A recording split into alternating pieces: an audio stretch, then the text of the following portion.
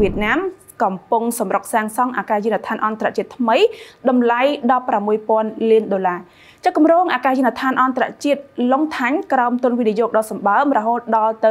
16,000លានដុល្លារអាមេរិកស្ថិតនៅក្នុងខេត្តដុងណៃប្រទេសវៀតណាមកំពុងលេចចេញជារូបរាងកាន់តែច្បាស់ខណៈការងារសាងសង់កំពុងសម្រុកទាំងថ្ងៃទាំងយប់ជានេះបើតាមការចុះផ្សាយរបស់សារព័ត៌មានវៀតណាម VN Express កម្មករ ចំនួន4000នាក់និងគ្រឿងចាក់ចំនួន2000គ្រឿងកំពុងសម្របការងារសាងសង់ទាំងថ្ងៃទាំងយប់ដើម្បីបញ្ចប់គម្រោងកសិដ្ឋានអន្តរជាតិឡុងថាញ់លើផ្ទៃដីសរុប5000ហិកតាឲ្យទាន់ពេលវេលាកំណត់បន្ទាប់ពីការសាងសង់ចាប់ផ្ដើមបានរយៈពេល5ខែ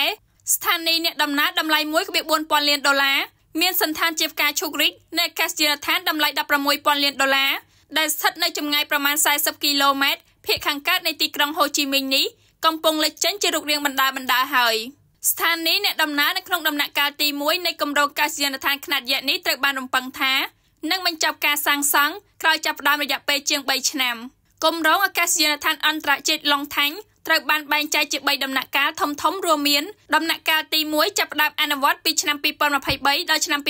2025ជាមួយនឹងការសាងសង់ចំណតអ្នកដំណើរចំនួន1ផ្លូវយន្តហោះរត់ចំនួន1 និងហេដ្ឋារចនាសម្ព័ន្ធកងទ្រជាមួយសមត្ថភាពទទួលអ្នកដំណើរចំនួន25លាននាក់និងទំនិញចំនួន1.2លានតោនក្នុងមួយឆ្នាំចំណែកឯដំណាក់កាលទី2ចាប់ផ្ដើមអនុវត្តពីឆ្នាំ2025ដល់ឆ្នាំ2030ជាមួយនឹងការសាងសង់ចំណតអ្នកដំណើរចំនួន2ផ្លូវយន្តហោះរត់ចំនួន2និងហេដ្ឋារចនាសម្ព័ន្ធកងទ្រដែលនឹងមានសមត្ថភាពទទួលអ្នកដំណើរចំនួន50លាននាក់និងទំនិញចំនួន15លានតោនក្នុងមួយឆ្នាំហើយសម្រាប់ដំណាក់កាលទី3ដែលជាដំណាក់កាលចុងក្រោយនៃគម្រោង ដែលនឹងចាប់ផ្ដើមអនុវត្តពីឆ្នាំ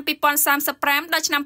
2040និងមានសមត្ថភាពទទួលអ្នកដំណើរចំនួន100លាននាក់និងទំនិញ50លានតោនក្នុងមួយឆ្នាំនៅពេលគម្រោងទាំងមូលបានបញ្ចប់ជាស្ថាពរ។